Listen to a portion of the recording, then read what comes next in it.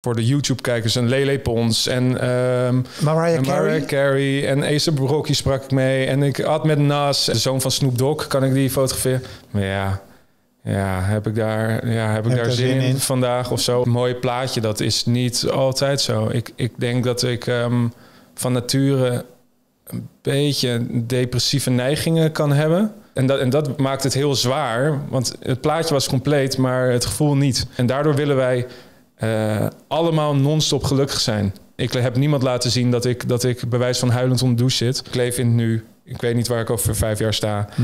Ehm, maar ik wil er gewoon alles uithalen. Leuk dat je kijkt naar weer een nieuwe video op 7D TV. Bij mij te gast topfotograaf Jasper Suik. Jasper, van harte welkom. Dankjewel. Noem eens wat werk wat je zo de afgelopen paar jaren... waar, waar, waar we je allemaal van kunnen kennen. Zo. Ja, dat vind ik zo moeilijk. Ja? Gek genoeg, ja. Maar heel veel artiesten. Dus, Ja, eh, zowel eh, in Nederland, maar ook internationaal. Ehm, veel bladen.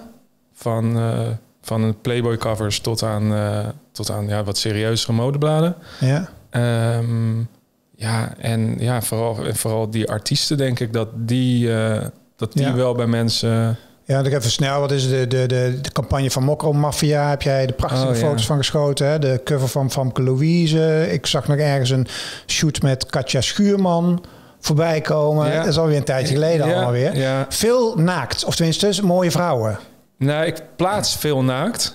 Eh, Maar je maakt niet zoveel naakt. Ik maak niet zoveel naakt. Maar waarom plaats je dat dan? Nou, ik, ik heb gemerkt, en, en dat, dat heeft allemaal natuurlijk met social media te maken, maar ehm, een groot gedeelte van mijn followers, Ja. die is daar ooit een beetje ontstaan. Hmm. En als ik eh, eh, mannen eh, plaats en, en doe, dan, dan komt daar minder respons op. Ja, die zijn gewoon niet zo mooi. Die zijn gewoon niet zo. Nee. Ehm, dus ik denk dat de, dat de verdeling ongeveer 80 of 90 procent is gewoon opdrachten en, en eh, artiesten, et cetera. Ja. En dan 10 procent is naakt. Ja. Jij bent een tijdje in Amerika geweest, hè? ja. Ehm, hoe, kwam je daar, zeg maar, hoe kwam je daar verzeild geraakt? Nou, ik, ik merkte ehm, dat ik heel snel doelen voor, me, voor mezelf zette. Ja. Ehm, en, ik heb, en achteraf gezien, daar kunnen we het zo nog even over hebben, heb ik, heb ik misschien te vroeg gepiekt, Hm. te snel. Ehm, waardoor mijn, mijn grenzen steeds sneller eh verlegden. En, ik- en ik had het gevoel, nee, ik weet niet zo goed meer wat ik hier met wie ik wil werken. Of met wie, ja, en ehm, er is natuurlijk genoeg te doen, maar zo voelde het wel heel Ja, ja. erg. En toen dacht ik, nou, laten we, laten we eens een, eh, een poging wagen in, in Amerika Hoe, eigenlijk. hoe ging dat? Ja, eigenlijk heel erg goed. Maar daar eigenlijk gebeurde wel weer een beetje hetzelfde. En dit is natuurlijk een heel eh, mentaal vlak, maar ehm, het ging daar best wel snel heel erg goed. Ehm, Ja, want jij noemde net namen. We hadden het even hier voorbespreking over, maar de helft kende ik niet eens. Maar, ja, ja, ja, ja, nee, ik heb ze, ja, maar Dan, ja, Dan Bilzerian. Misschien zijn er ook wel kijkers die niet kennen, maar jij, daar, daar bezocht jij de feestjes van, zeg maar. Daar bezocht ik de feest van. En eh, ehm, nou, voor, voor de YouTube-kijkers een Lele Pons. En ehm, Mariah en Carey? Mariah Carey en Ace Rocky sprak ik mee. En ik had met Nas en eh, eh, ja, heel veel grote, grote artiesten waar ik daarmee in aanraking kwam. En wat dacht jij toen je daar... Jij gaat naar Amerika, Nederland was te klein. Je, had- ja, je, had- je, had, zo, je vond, ik ga de wereld veroveren met een soort van iets, misschien wel. Eh, ja, ja, want beetje. dat was een beetje de drijfveer dat je daar naartoe ging, misschien wel, toch? Ja, ja zeker. En dan zeker. gebeurt dit. Ja, Dan klinkt dat als een soort van perfect plaatje. ja, klopt. Maar dat wendt ook wel weer heel erg snel. Dus eh, ik, ik ging een beetje op en af. Hè. Dus dan was ik daar een maand of anderhalf en dan ging ik weer terug. En, Ja. dan, en dan ging ik daar weer heen. En ik merkte gewoon de, de, de, vanaf de derde keer dat ik daar anderhalve maand zat... dat, oh ja, kan ik eh, bij wijze van, ik noem maar wat, de zoon van Snoop Dogg... kan ik die fotograferen? Maar ja, ja heb ik daar, ja, heb ik daar zin, in, vandaag of zo? Of, Ja. ehm, Want het was wel heel- allemaal betaald werk. Nee, nee, nee, niet allemaal betaald werk. Eh, Heel veel, ehm, eigenlijk een beetje hoe ik het, hetzelfde hoe ik het hier ooit heb aangepakt.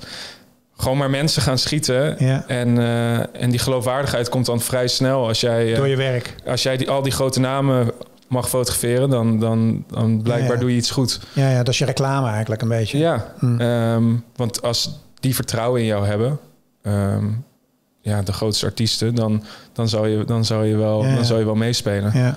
Ja.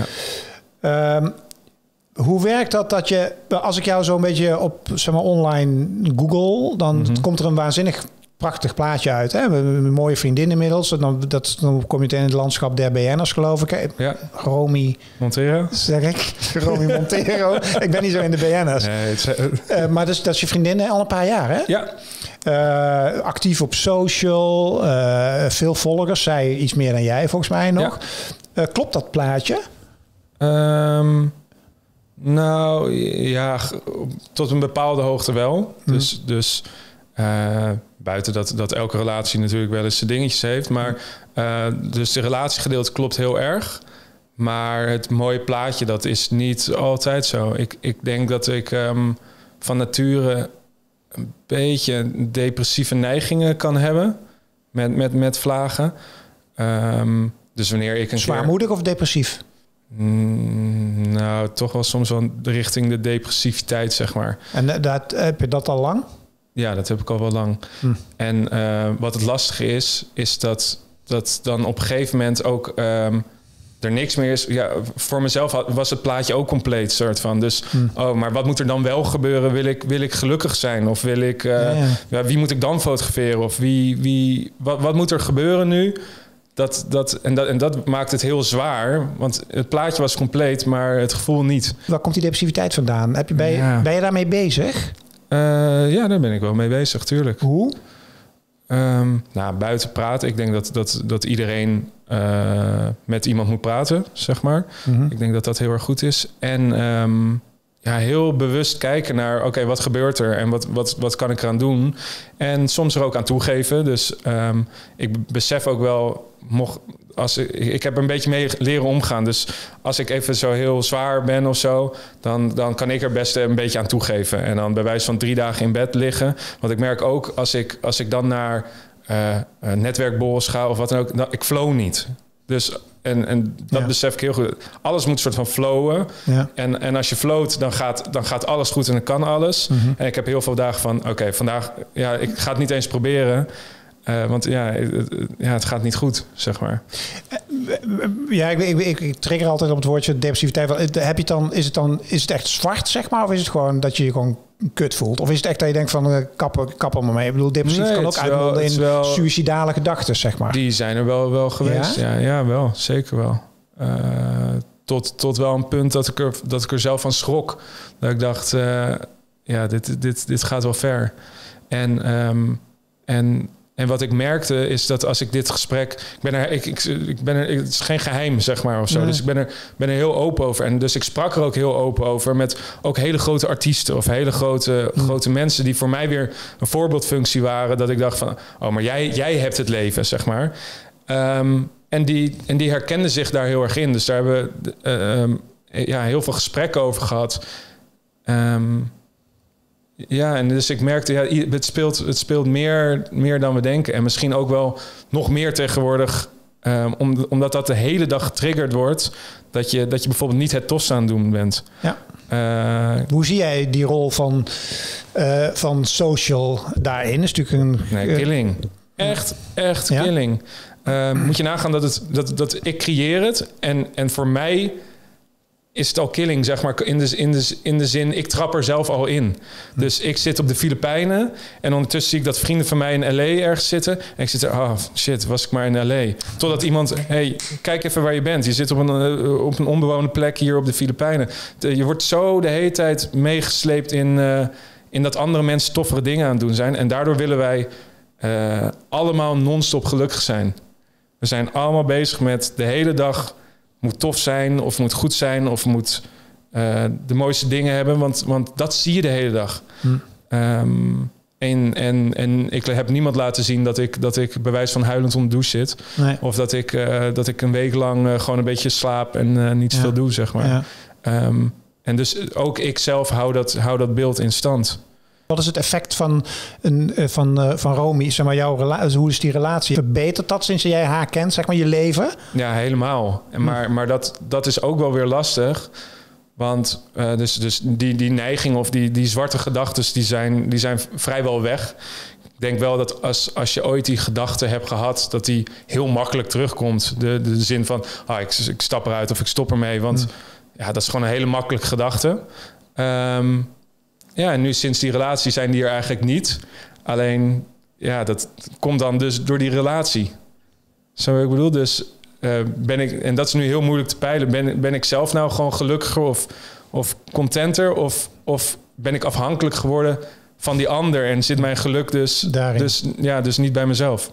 Praat jij met professionals hierover of zoek je het allemaal even uit? Met vlagen, ja. Hmm. En, en zelf uitzoeken. En ik denk, um, um, ik ben er heel bewust van. Dus, dus elke gedachte of elk... Ik pluis heel erg uit en heel erg... Um, kijk, oh, dit is wel interessant. Oh, dus dit gebeurt er nu als ik dit doe. Of, maar ondertussen met vlagen met iemand praten, ja. Wat doen, wat doen we? En zo meteen wil ik echt wel iets weten over je vak hoor. Maar ik, ja, ik weet ook niet dat deze kant op ging. Maar ik vind wel, het is super uh, relevant. Omdat, want jij, jij noemde het killing. Um, wat zouden we eraan moeten doen? Want ik herken het. Ik denk dat veel mensen die kijken herkennen dit. Hè? Dat, dat social media en alles moet perfect zijn. En live the life. En, uh, en uh, weet je. Wat, wat, kunnen we hier aan doen? Want ik, ik weet zeker dat jij niet de enige bent. ik denk, ik denk echt iedereen. Nou, maar zou er geen, ja weet ik veel, moet er geen social media voor het echte leven komen of zoiets? Weet ik veel, hoe lossen we dit op?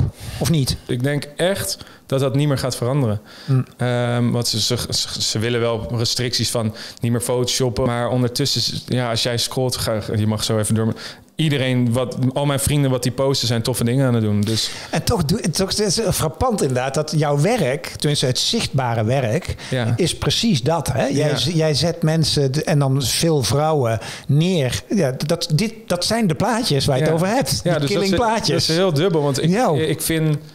Uh, want mensen zeggen ook wel eens, oh ja, dan niet photoshoppen of doen. Maar ik vind het heel mooi om, om, om die droom ook weer te verkopen. Ik heb, ik heb uh, art direction gestudeerd voor reclame. Dus ik vind het heel mooi om...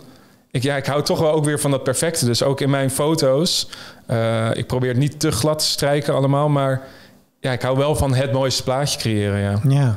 ja het is heel dubbel. Ja. Ja, want eigenlijk werk ik dus mee... Uh, aan het in stand houden wat je zelf zo vreselijk vindt eigenlijk. Ja, ik hoop alleen, ik, ik, ik, hoop dat ik dus op zo'n soort van level content aan het maken ben. Dat mensen snappen dat, het, dat, ik, een, dat ik een droom aan het maken ben. Snap je wat ik daarmee bedoel? Dus, dus al die Instagrammers die, die zichzelf... Dat, dat lijken normale, mm. normale foto's. En dat is, dat, dat is zo moeilijk. Maar ik, en ik hoop dat ze bij mij beseffen... Oké, maar hier dit is wel een hele set zeg maar, gebouwd. En hier is wel uh, serieus met lampen en visie en dat soort dingen. Dat soort dingen, ja. Uh, wat is er zo mooi aan jou, uh, aan het vak wat jij uitoefent? Dat elke dag anders is. Hm. En dat ik, um, dat ik elke dag met ander soort mensen mag werken. En dat ik elke dag moet gaan zoeken met hoe ik daarmee om kan gaan. En uh, ik, ik zit altijd een beetje aan de brutale kant. Dus ik zit altijd elke dag te zoeken van oh, hoe ver. Edgy, wat, zeg maar. Ja, wat is het randje die ik, die ik bij dezegene kan, kan opzoeken. En um, uh, ja, dat vind, dat vind ik het leukste. Ja, ik las in een eerder interview, sterk nog, heb, ooit heb ik een keer in de studio getrokken met Nienke de Jong, die jou toen geïnterviewd heeft. Als je googelt, kom je er al vrij snel op uit. Ja. En toen zei jij ook, en dat vond ik wel leuk, zei van de ideeën, ik heb, het, ik heb de foto altijd al. Ja. Uh, heb je dat nog steeds? Ja. ja. Dus het plaatje maak je in je hoofd. Ja. En dan is het werk is dus dat plaatje realiseren, wat je al hebt. Ja, en dat maakt het, dat maakt het soms wel, wel, wel moeilijk, want ja, soms ben ik er al. En uh, alleen jij ziet hem nog niet. Dus, uh, ik moet en de hele crew ook nog niet. En de, nee, maar ik, te Nee, precies. Maar dus ik heb heel veel concepten liggen en heel veel ideeën. Um, en eigenlijk in mijn hoofd heb ik dat al afgevinkt. En, en dat is ook denk ik altijd mijn drive geweest van... oké, okay, dit, dit wil ik behalen. En als het al een beetje in zicht voelde... Um, ja, dan, dan verviel dat al een beetje of zo. Hmm. Um, en dat is wel mijn... Uh, ja, het, mijn, mijn gevaar in dat opzicht. Ik wilde heel graag Justin Bieber fotograferen. Dat, dat, dat, dat, dat leek me het vetste ooit. En toen was ik met, met een, een kennis in LA. En toen um, uh, hebben we met hem gefacetimed. En toen voelde het alweer, oké, het, is, het is mogelijk. Of het, het zit zo in de buurt dat eigenlijk die drive daarvoor is eigenlijk alweer vervallen van... Uh, ja, en dat is hetzelfde met beelden. Ik heb allemaal beelden in mijn hoofd. Jij ziet ze nog niet, maar ik heb ze, ik heb ze eigenlijk al wel. Je hebt soms dat is lastig volgens mij hoe jij leeft soms. Ja. Hm, kan me wel eens voorstellen, ja. ja. Eigenlijk ben je gewoon, ben je, ben je een kunstenaar eigenlijk? Um, ja, denk ik wel eigenlijk. Ik denk ook niet dat ik, dat ik in dat opzicht... Ik, mijn, mijn, mijn camera is het, de manier die ik heb gekozen om jou te laten zien. Ja. Wat, maar dat had ook uh, beeldhouden kunnen zijn. Of dat, had, dat had ook iets anders kunnen zijn. Maar ik heb die richting gekozen en ik merkte... oh ja, dit, dit vind ik tof. Dit is, mm. dit is te doen. Terwijl als dat nog analoog was geweest, was ik nooit fotograaf geworden. Mm. Toen kwamen er veel veel technische dingen en aspecten aan te pas, zeg maar. Ehm, ja, dus ik ben in dat opzicht een, meer een kunstenaar, denk ik. Of, of een, ja... Creatief. een creatief dan, uh, dan fotograaf, ja. Ben je commercieel succesvol? Um, voor mezelf wel. Maar het kan, dat kan groter natuurlijk. Het is niet dat je de miljoentjes al binnengeharkt hebt, zeg maar. Nee. nee. Ik hoop dat mijn vriendin dat gaat doen. dan, kan, kan, ik gewoon... Uh, ja. Nee, nee. Uh, nee, en dat is ook niet mijn drive. Echt, echt. Uh, dat dan weer helemaal nul. Je zou dus, dat, ja, toch stom is dat inderdaad. Hè? Hoe je een vertekend beeld van iemand krijgt. Als je jou, nogmaals, als je je, je googelt en je leest en je ziet de foto's met je vriendin, met Romy. En dan heb je zo'n soort glamour-achtig beeld bijna van, ja, die, die, dat is klaar. Ja. Nee, ehm, ja, nee, ik, ik, geef in dat opzicht nul om geld. Ik wil kunnen doen wat ik, wat ik wil doen. Dus uh, als ik morgen in Ibiza wil zitten, dan wil ik dat bij wijze van kunnen doen. Maar ik hoef daar niet in een huis van, van een miljoen te zitten. Ik ben ook helemaal goed uh, uh, ergens... Op het strand. Ja. ja.